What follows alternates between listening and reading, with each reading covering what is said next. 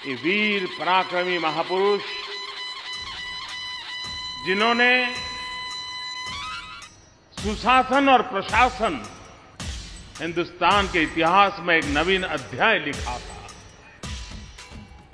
और अपने योग्यता और क्षमता के आधार पर किया था और संकटों के बीच किया था। संघर्षमय जीवन के रहते हुए किया था।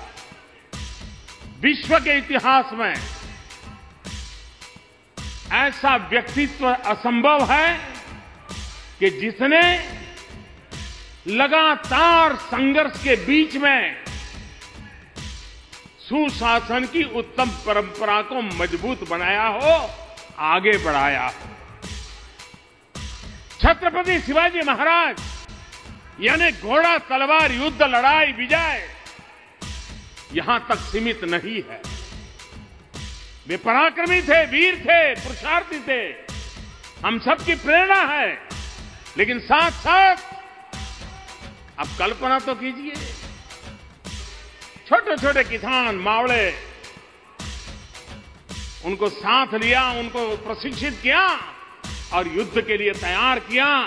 कितने बड़े संगठन शास्त्र का कौशल्य छत्रपति शिवाजी महाराज ने प्रस्तुत किया।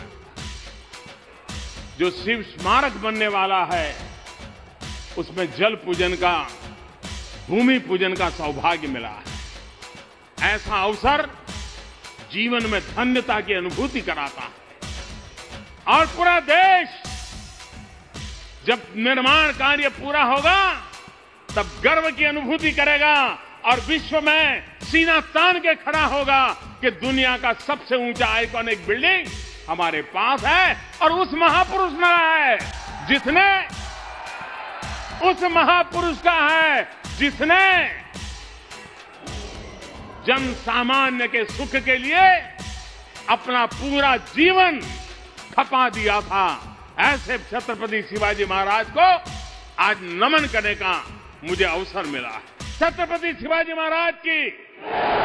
छत्रपति शिवाजी महाराज की। छत्रपति शिवाजी महाराज की।